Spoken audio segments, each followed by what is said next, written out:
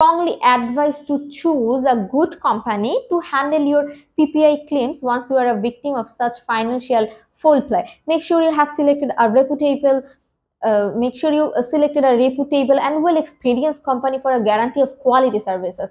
Generally, the company will be out of help you recover the lost money but it will have many services to offer as well. It is good to know about the services so that you can make your decision from informed point. For one, the company will help you determine whether you qualify for a PPI refund.